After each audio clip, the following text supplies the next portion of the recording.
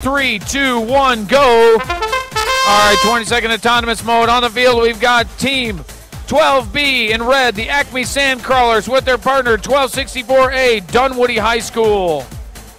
Looks like it's a tie in autonomous mode. In blue, we've got team 12D, Acme Temporary, Permanently Temporary. We've got a tie in autonomous mode. Teleop in three, two, one, go.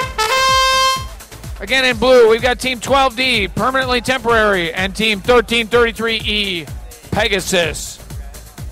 Red lights now with three tubes in the air.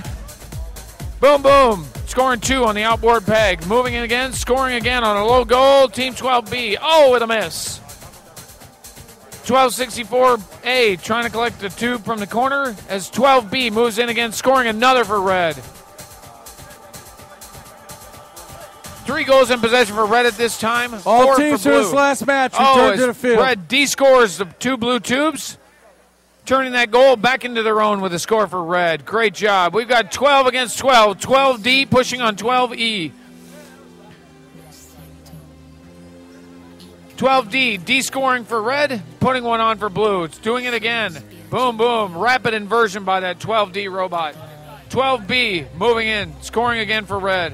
Still anybody's game with one minute to go in this match.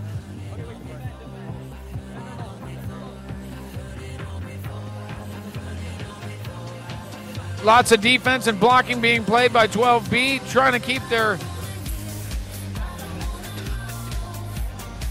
12D trying to keep 12B away from those blue possessed goals. 40 seconds remaining now.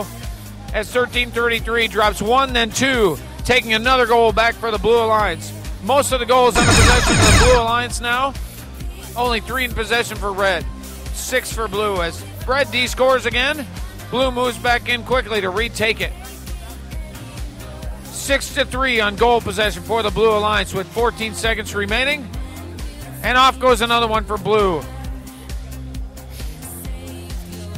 And if, as this match boils down, it still looks like it's blue advantage with five, four, three, two, one.